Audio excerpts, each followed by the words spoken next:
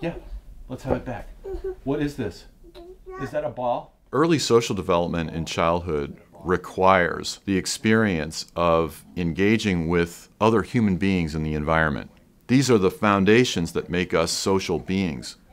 In the case of autism, it appears that for the majority of children who develop this condition, very early on, they are not orienting to those cues.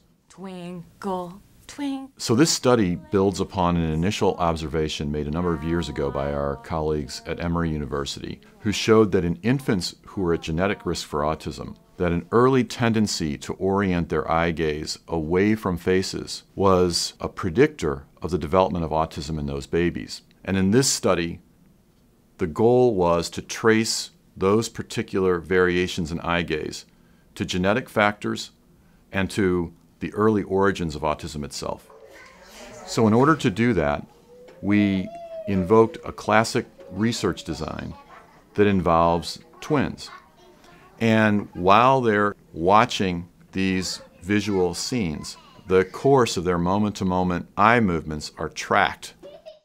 At any one point in time, how one twin oriented to the face, the position on the face, the objects in the room, back to the face, the actual tracing for these twins when they were identical twins, sharing 100% of their genetic variation, was markedly similar so that their tracings looked almost as if they were magnetic when superimposed on one another.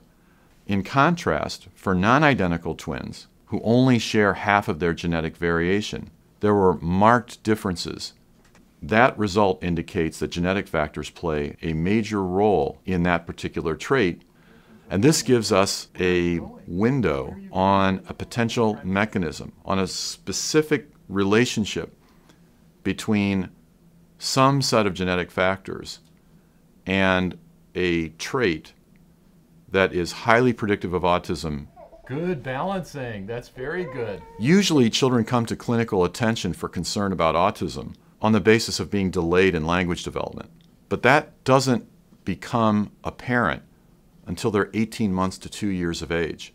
And what we believe is that these developmental abnormalities in visual orientation are operating from the time of six months.